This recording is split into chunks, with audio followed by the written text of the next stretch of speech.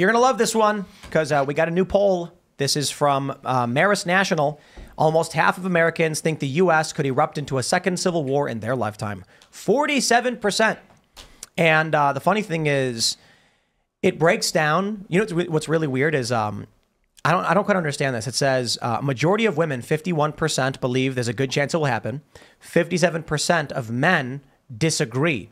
Mostly men don't think it will happen. It's women who think there will be a civil war. Now the reason that's significant, the French Revolution, the Bolshevik Revolution, they say were instigated because women got up and rose and rose up. When women get unhappy and get involved in politics, things start to destabilize. So if women think the Civil War is coming, I don't know. I feel kind of worried about that. But uh, what say you, good sir? Well, like I said earlier, I, I can't think of a time in history when corruption has reached this level and it's been peacefully walked back. The question is when. So a lot of people say it's going to happen next year, no matter what happens in this election.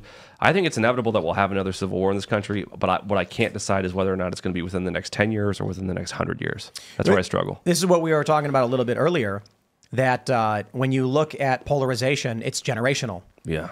So again, as I described it, is it's a piece of paper being torn from the smallest, from the youngest generation up to the top. Yep. But it's really not so much that we're we're tearing it; it's that just imagine you've got this thread, and the older generation's at top, and the bottom is splitting as it moves down.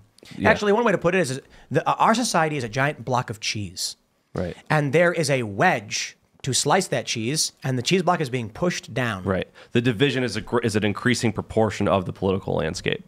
as the older generation uh, dies and the younger generation becomes either gra- gets grabbed by the left or the right, new people entering the voting block are going to be hyperpolarized to uh-huh. further and further degrees. And the older generation that overlap on the Democrat Republican side are dying and no longer part of the equation. So 2028, 2032, Well, 20, I think 2028 is the the, voter turnout turning. thing too. Like I said Yeah. before the before we started streaming today, the voter turnout in 1860 was giant, and we saw record voter turnout in 2020.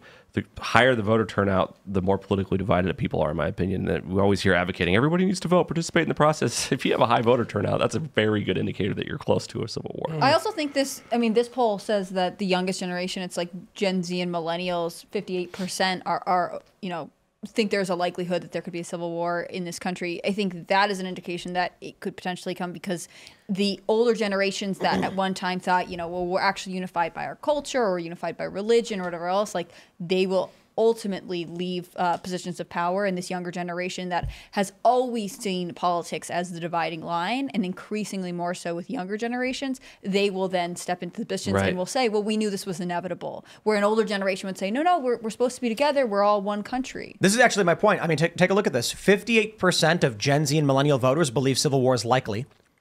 19% of silent generation, 46% of Gen X, and 34% of boomers. So let's break it down. Silent generation is the oldest. Only 19% think civil war is likely. Why? Because all of these people, Democrat and Republican, who are in their late 60s and 70s, go hang out and play bridge or whatever, and they're like, but we agree on most things. How could there be a civil war? Then you get baby boomers, 34%. Same issue. They're meeting up and saying, but we agree on most things, but I do think, you know, John across the street's got some weird views. Gen Xers are more online, more active, more political, and they're seeing what's going on. And Gen Z and millennials at 58. If that mm-hmm. trend continues, when Gen Alpha enters the voting block, it's going to be 70% of Gen Alpha that says yes. Then what, what- what comes after Gen Alpha? i don't know i can look it up Well, and then the question is Then- the question is who in the in the minds of the pollsters who is is fighting who in this in this imaginary civil war and then who wins because before it was very clear south versus the north but now Who's- it seems who- more like urban versus rural but who who, is- same, who who, fights in the war yeah who, who, Well- does, who do people foresee will fight in the civil Who war was fighting in the Syrian Civil War? i don't know It was it was it was like 13 different factions. Thir- 13 different factions And then ultimately just be it, like they all got absorbed into ISIS. so you think that's what's going to happen in this next civil war won't be two sides like what we think of the traditional Ameri- american civil war The American Civil War is pockets. atypical in terms of most countries' histories. So the mm. Spanish Civil War is a better example, and it's usually urban versus rural, and usually it is the rural that wins. I'm a little bit more optimistic. Um, I think, unlike in many other countries on planet Earth, in America, we have a lot to fight for and a lot of great opportunity. Um, a lot of our institutions are incredibly established. There's a defund the police movement in our country that didn't go anywhere policy wise. Um, people in our country still support our military. People still have faith in the Supreme Court and the law. People still believe that courts exist and are, are functioning properly.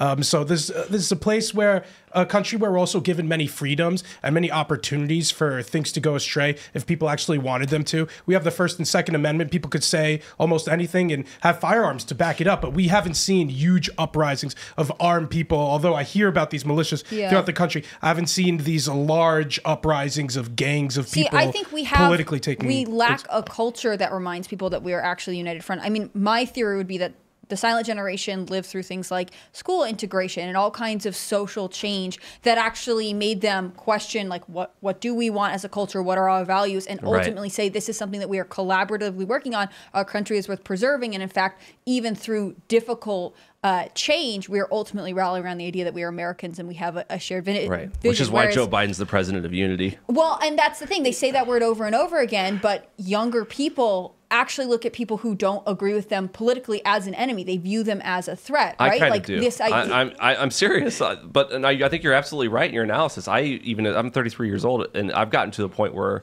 my sentiments toward people who disagree with me politically have gotten much more combative. well, and this is reinforced by the Personally, idea that and I'm not even saying that's a good thing. I'm just saying that about myself. Right. Well, this is reinforced by the fact that certain schools in certain districts in certain like that vote a certain way have rules that like, well, a kid can transition here and we'll call them by whatever pronouns, but we won't tell the parents because we view those parents as potential threats to these children who are a different Right. voter block. I mean, I think that Right. ultimately which makes me feel combative towards Uh, those these teachers. issues are important, but I think even you know, despite Joe Biden's economic downturn and these issues like trans issues that I think are very significant, people uh, start civil wars when they don't have things worth fighting for and protecting. When things are going bad and astray for them, and they don't have anything going on for them.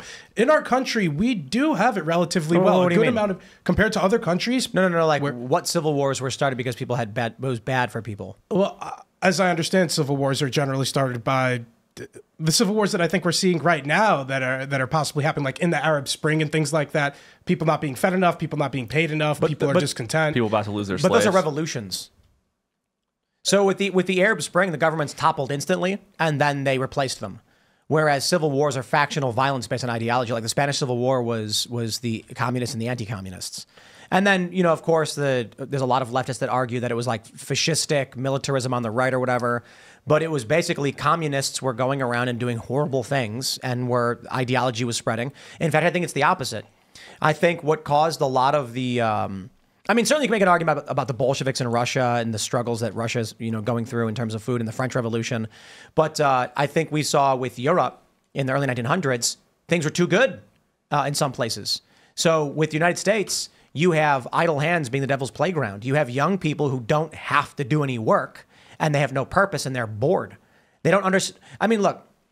Man, I'm not, I I'm don't. I'm not, you think people go to civil war because they're bored? well, Yes. I do Let see me at the explain. most elite colleges. That's where we are seeing the Yes. hardest, Yeah, like, the- most aggressive the hunger strike versions amongst of the But- most well-fed. leftist LARPs. but let me Yeah. explain. Young people today are struggling. Yes. Some of them legitimately because the, the system is busted. Some of them because they were not raised properly by their parents to know how to work and produce and, and survive. So what happens is you have two political parties. One is a parasite class where they they believe that the government should print as much money as possible. Uh, uh, they they believe in deficit spending. yeah. Modern monetary theory. Exactly. And so all this does is leech off of the working class. That system collapses. And what we're seeing now is an expansion of it where many people are of the mindset that the government should pay their bills, should print more money, deficit spending and things like this, which result in hyperinflation. Then when inflation happens, what does Joe Biden do? It's the corporations that are ripping you off. Right. They, they're- blame they blame it on capitalism, but it's actually kind of fascism. then they reenact more government policies which destroy the system further Right. until it collapses. And that's intentional for the communists. The reason this is happening is because idle hands is the devil's playground. If these people had to wake up in the morning and feed the animals and then work all day and had very little time to do anything, there'd be no communist revolution. They would just be working, living, and they would be content with life. But they want what you have because you're working and they're not. So it's envy even more than boredom. 100% envy. Communism is all envy. They look at people who uh, I mean, look at look at the tenets of communism, what they think. The, I, I love this. You know, hearing these people argue about socialism, and they're like, socialism is when labor, the workers, own the company and not their bosses. Well, uh, what? No, what did they say? They said when your when your labor is controlled by the people and you, and not your boss. And I'm like, Right. in capitalism, the labor is controlled by you. In communism, your labor is controlled by the state. But they lie to implement these things. In a free market capitalist society, you are free to sell your labor for whatever you can get for it. The problem is, in today's society, you've got kids who have no sellable skills because of the way society told them to live their lives, which is a problem. This, I think, leads to anger, animosity, fear, confusion, and and false prophets. Political uh, individuals who come up and say, "I have the solution to what ails you. It's called communism," and they go, "Okay," and then they start burning down burning down buildings. Right. Well, and that's what I'm very concerned after. If you read like the fourth turning, and if, if you think that maybe we're on the verge of an economic collapse 2028, I'm very much concerned about the fork in the road that we will be at. Whereas a country, we're going to choose, I think, much like the Weimar Republic had to choose, Germans had to choose at the end of the Weimar Republic between communism and fascism as the solution. And that's why I advocate for populism. And I wrote this book is because I'm hoping there's a third option that's healthy and doesn't result in the death of millions of people. But I think we're quickly coming up on a place where it is going to reach the level of desperation and simultaneously the level of boredom necessary to catalyze a collapse that brings us to choose between full on communism versus No one thought civil war was possible in 18, 1860. Thanks for checking out this clip from Timcast IRL. Make sure to watch the show live Monday through Friday at 8 p.m. Subscribe to this channel, and we will see you all there.